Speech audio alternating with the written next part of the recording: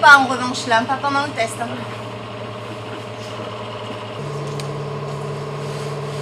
Alors moi je préfère largement travailler avec la main, mais euh, c'est là en fait.